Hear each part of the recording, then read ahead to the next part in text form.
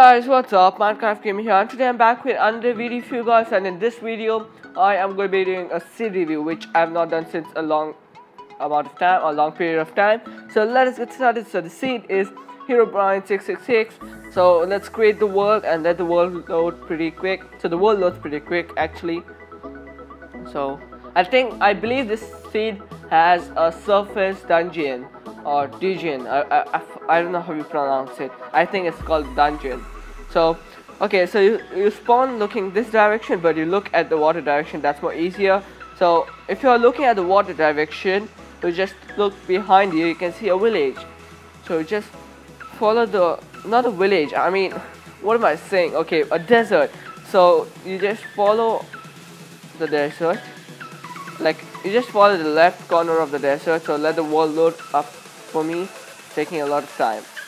So just let's look at this nice and lovely cactus. Oh goodness it's a sapling. It's a small cactus. Okay so the world has loaded so let's get to work. So you can see this curve type thing here. So you just take some torches with you and you ignore that curve and go to the dot okay?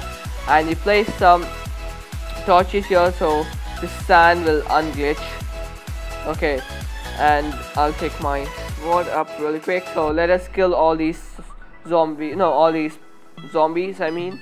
Yeah. So let's just kill this last guy right here. So this is the dungeon and here is the spawner. So let me just place some nice torches around it. So here is the spawner and here is the two chests which is hiding in the under uh, under some sand blocks so let us break the chest and let us see what do we get. So in the first chest i believe we get some wheat we get some strings and we get one iron ingot and you get some gunpowder which is amazing. Let's go to the second chest. So i believe you get a bucket in this chest and you get some what do you call for that? Um, wheat and some strings and some more gunpowder and I think like what if what will happen if you break this spawner I don't know.